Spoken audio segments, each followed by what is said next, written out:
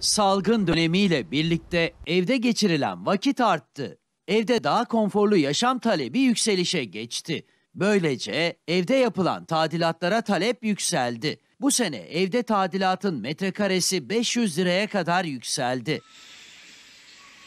Araştırma Türkiye İnşaat Malzemesi Sanayicileri Derneği tarafından yapıldı. Yapılan yenilenme ve tadilatlar 3 farklı bölümde değerlendirildi.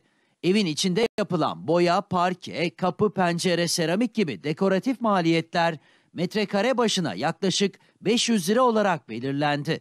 Oysa bu maliyetler 2018'de 100-150, 2020'de ise 250-300 liraydı. Türkiye İmsat verilerine göre elektrik, ısıtma, soğutma, havalandırma, yalıtım dahil yenileme maliyeti %50, klonlara kadar inilip güçlendirme dahil yapılan derin yenilemenin maliyeti de %56 yükseldi.